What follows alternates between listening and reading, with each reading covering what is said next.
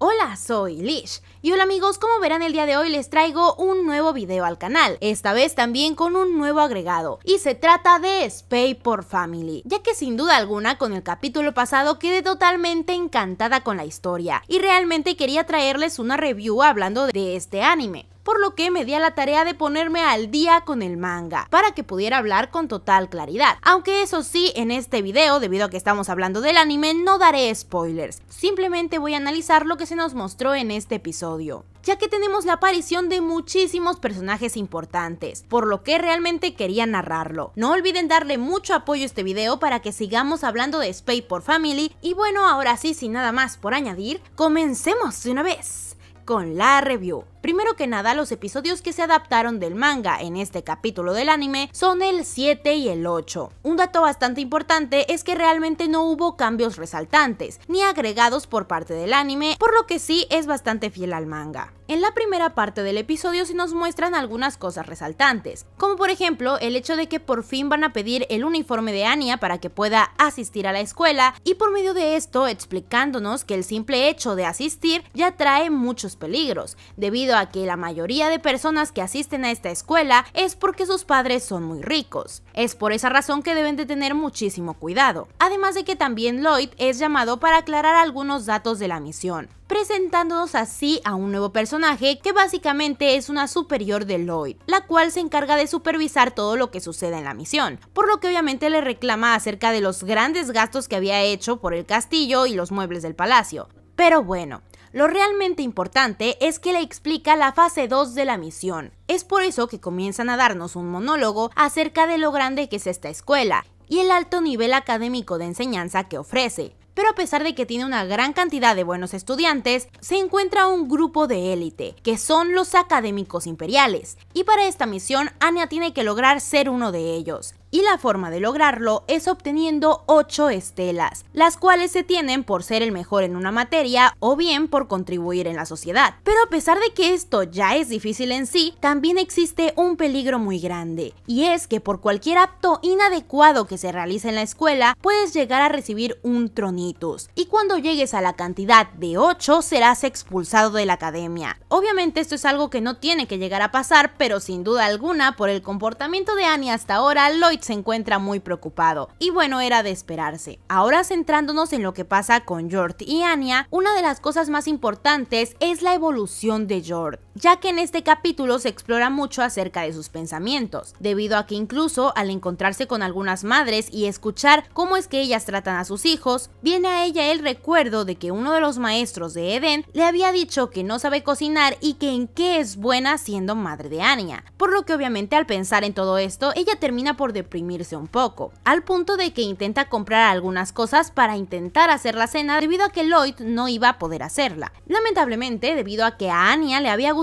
mucho su uniforme y se lo llevó puesto, algunos matones terminan yendo por ella, ya que obviamente, como lo había mencionado, si eres alumno de Eden, por ende también eres rico. Aunque claro, ese fue un día de muy mala suerte para estos matones, ya que tan pronto como George se da cuenta, va a aniquilarlos teniendo así una de las mejores escenas del episodio porque sinceramente cada momento en el que George aparece y pelea contra alguien es increíblemente hermoso. De esta manera es como termina asustando a los matones y vemos un punto muy importante en el crecimiento de la relación de George y Anya, ya que en este punto, a pesar de que George sabe que obviamente no es la verdadera madre de Anya y que de hecho la relación que tiene con Lloyd no es precisamente algo romántico, aún así ella ya comienza a considerarse como la madre de Anya y sin lugar a dudas intenta ser un muy buen ejemplo para ella, algo que a pesar de que parezca trivial en este capítulo, va a seguir afectando la evolución que demuestra George en este punto, y que también va a ser algo importante para lo que vamos a ver a continuación en el episodio, ya que sí, en este punto, al ver a George deprimida, Anya se encarga de decirle cuánto la admira y que quiere ser tan fuerte como ella. Es por eso que George termina enseñándole algunos cuantos movimientos de defensa personal. Pero bueno, ahora sí hemos llegado con la parte más importante de todas, y esto es la ceremonia de entrada de la Academia Eden en donde se nos revelará el grupo en el que estará Anya, aunque obviamente este fue manipulado por Lloyd, ya que sin lugar a dudas él se ha dado cuenta de que obtener 8 estelas va a ser increíblemente difícil, por lo que tiene un plan B, y este es que Anya termine haciéndose amiga de Damian, el segundo hijo de Desmond. Y esta es la razón por la que terminó manipulando un poco la lista de alumnos de cada grupo, haciendo que Anya y Damian sean compañeros para que así ella termine haciéndose su amiga y Lloyd pueda establecer un contacto directo con los Desmond. Aunque claro, no es la única relación importante que Anya puede hacer en este punto, ya que se encuentran hijos de personas muy importantes en este lugar. Una de ellas es Becky, ya que su padre también es una persona muy importante. Pero muy bien, antes de centrarnos en Becky, vamos a analizar un poco más la relación de Anya y Damian, la cual realmente tiene un comienzo muy malo, ya que a pesar de que Anya sabe perfectamente que tiene que intentar acercarse a Damian, esto va a ser muy complicado por la personalidad que éste posee, la cual realmente tiene mucho sentido, ya que al pertenecer a una familia tan importante como lo son los Desmond, obviamente esto ya le genera cierta soberbia. Aún así también hay que comprender un poco la situación en la que Damian se encuentra, ya que se nos han dicho cosas muy importantes. Primero que nada, al pertenecer a una gran familia como son los Desmond, él tiene que mostrarse como tal, es decir, alguien importante y que merece respeto, y por ende alguien con mucho talento. Por lo que para empezar, él ya tiene la carga enorme que a Anya también se le presenta, es decir, convertirse en uno de los académicos imperiales. Además de que las expectativas que se tienen sobre él no acaban ahí, ya que su hermano mayor anteriormente también había sido un académico imperial, por lo que obviamente, sin lugar a dudas, Damian tiene mucho peso sobre sus hombros, por lo que a pesar de que pueda llegar a ser irritante en cierto modo,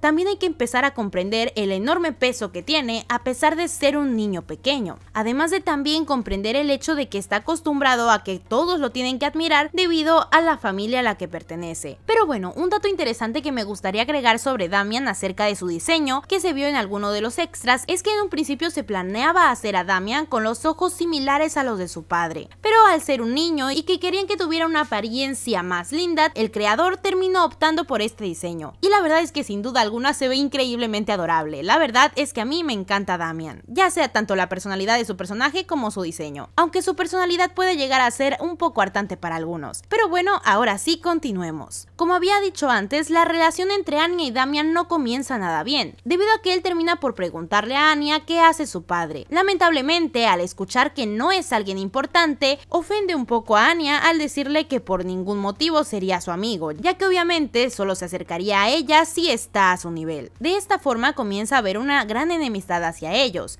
pero debido a las enseñanzas de Jord, quien le dijo a Anya que no debería usar los golpes en cualquier situación en la que estuvieran atacando y que realmente para verse como una persona madura tendría que aprender a soportarlo y a dejarlo pasar y simplemente mostrar una sonrisa ante ellos, es como termina superando y molestando a Damian, ya que obviamente esto lo hizo sentir muy insignificante. Pero no solo esto, sino que este mismo acto de lograr controlar sus emociones impresiona muchísimo a Becky, quien termina por creer que la apariencia de una niña pequeña e inmadura que vio anteriormente no era cierto, y demostrando una gran admiración por el acto de Anya. Lamentablemente esta pelea no queda hasta ahí, ya que Damian sigue molestando constantemente a Damian y a Becky mientras les dan el recorrido por la escuela, lo que provoca que Anya no pueda aguantar más y por fin le dé un golpe directo en la cara a Damian, que sinceramente se vio impresionante. Y esto provoca un gran problema, ya que el profesor de su clase, que de hecho es el director, pero fue bajado hasta este nivel debido a que golpeó a aquel maestro anteriormente, pues se da cuenta de lo que hizo Anya. Es por esa razón que va a reprenderla, pero al enterarse de que ella intentó defender a su compañera debido a que Damian la había pisado, aunque Anya solo había dicho esto para excusarse, logra que él comprenda la situación y que termine bajando su castigo de 3 tronitus a 1. Y sí, el primer día de clases, Anya consiguió un tronitus, lo cual provoca una gran desesperación en Lloyd, ya que directamente